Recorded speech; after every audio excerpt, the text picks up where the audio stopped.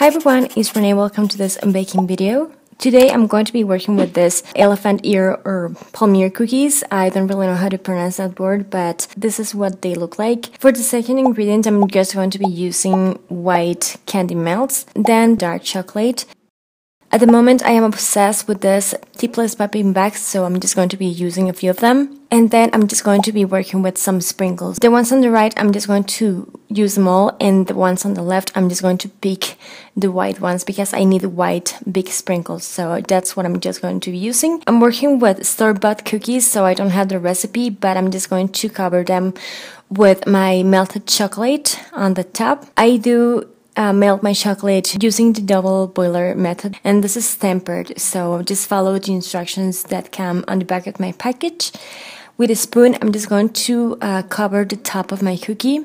Then I'm going to be taking my big sprinkles the white ones and I'm just going to place them in a polka dot pattern. And to do this, you can do this by hand, just placing your uh, sprinkles, or you can use a tweezer that you can pretty much get anywhere. They are pretty affordable, and just use it uh, for baking. That's what I do. So those are the two methods that I use when they are big enough and when I need them in a specific place. Now that's it for the first one. For the second one, I'm going to just kind of like simulate that the cookie was dipped in chocolate. I'm not going to actually dip it because because of the nature of this cookie, they they end up being a mess. If you dip them into the bowl where you have the rest of your chocolate, just make sure you cover like the top part and the edges so it looks like it was actually dipped. This one is pretty simple but kind of effective, I think. Just drizzle some white chocolate on the top. And then I'm going to be taking a bare cookie that doesn't have anything on top and I'm just going to drizzle some chocolate using my tipless piping bag. I made a really tiny hole in there and I just went across it to make it look like a cross. Right before it dries so like your chocolate sets, make sure you remove it from there because otherwise the whole thing is going to uh, dry into one piece. So just make sure you remove it with a knife or just a spatula. Some of the cookies uh, have like this burnt edges on them. Doesn't mean they are bad. It just that happens when you bake stuff sometimes.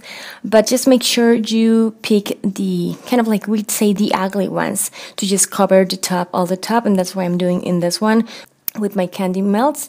And at this point, I just uh, was getting familiar with this candy melt thing they it dries super fast so just work as fast as you can because it's to set faster than working with with dark chocolate for instance in this one i did the same effect of um you know dipped cookie in some chocolate but then i'm just going to be placing some uh, stripes with my dark chocolate. First, I'm going to draw the lines in there, and then I'm just going to fill those lines. Just make sure they are nice and thick lines once I've done that, I'm just going to go with my toothpick and just arrange the chocolate as I want it to dry before it sets.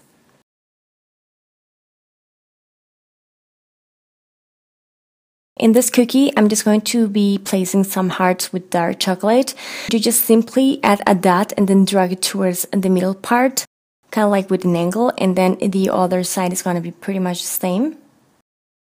The dark chocolate in this case is on the bottom, and my hearts are white. For the drizzled cookie, I'm just going to go with my white candy melts in my tipless piping bag and I'm just going to write the word love on it. You can write whatever you want and pretty much it's up to you um, what kind of like type of font you go for.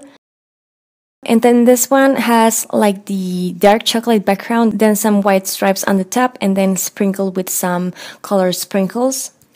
And this is pretty much the idea that I wanted to share. Taste wise, they are really good. This is an, a great option if you celebrate this day. And remember, it doesn't have to be for only for this and day. You can um, enjoy them all year round. And Valentine's it doesn't mean only having a partner and just um, a date. You can, you know, share them and enjoy them with anyone that you love, family, friends, and even only to yourself. This is a special treat that I wanted to share with you. Let me know if you like them, if you think they are cute. If you do, don't forget to give me a thumbs up. It helps a lot. Don't forget to subscribe to my channel and share it so more people can watch it.